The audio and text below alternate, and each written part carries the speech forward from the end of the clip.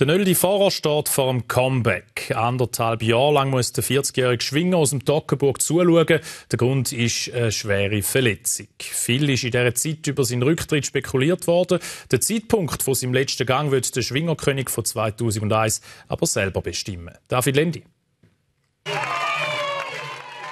Vor 18 Jahren holt der Toggenburger am eidgenössischen Schwingfest zu den Königstitel und wird in seiner Heimat Stein frenetisch empfangen. Es sind Bilder wie die, die den Öldi Vorer Tag für Tag für sein Comeback motivieren. Der Moment, wo du gewünscht und, und auch wenn das Publikum tobt oder deinen Namen ruft, und, das ist einfach schon das ist einmalig und äh, das, das, das macht süchtig und von dem habe ich ja nicht ganz, ganz genug. Jetzt kann der Nöldi Vorer wieder lachen.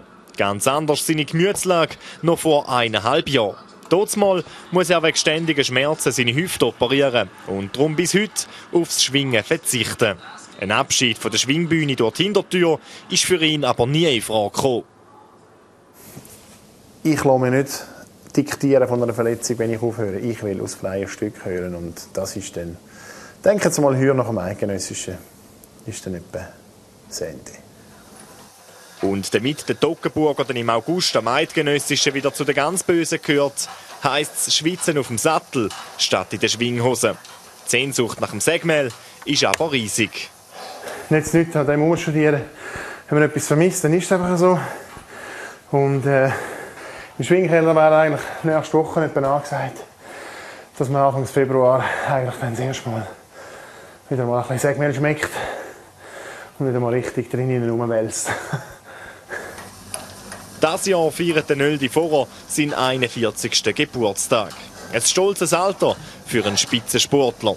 Noch immer aber ist der 145-fache Kranzsieger von seinen Qualitäten im Ring überzeugt. Äh, dass ich nicht mehr den Ton wie früher, das ist ganz, da, da machen wir, machen wir jetzt keine Illusionen, dass, das geht nicht mehr. Aber sicher mitschwingen, über einen Kontra bringen und über eine Überraschung, äh, noch, dass noch eine Überraschung gelingt, dann glaube ich, das bringe ich schon ein. Die Jungen um bisschen ärgern. Bis dorthin ist es aber noch ein langer und steiniger Weg. Die erste Belastungsprobe für die operierte Hüfte gibt es Ende April am Schwingfest im thurgauischen Lenkwil.